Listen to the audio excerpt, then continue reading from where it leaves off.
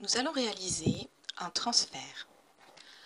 On parle de transfert lorsqu'un patient est transféré dans un autre établissement.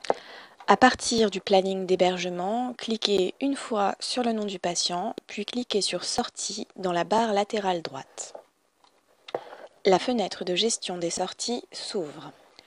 Renseignez la date et l'heure de sortie, puis sélectionnez le mode de sortie Transfert. Cliquez sur les points de suspension en face de la case Devenir. Cochez Numéro finesse. Tapez le numéro du département dans lequel se trouve l'établissement de destination. La liste des établissements de ce département s'affiche.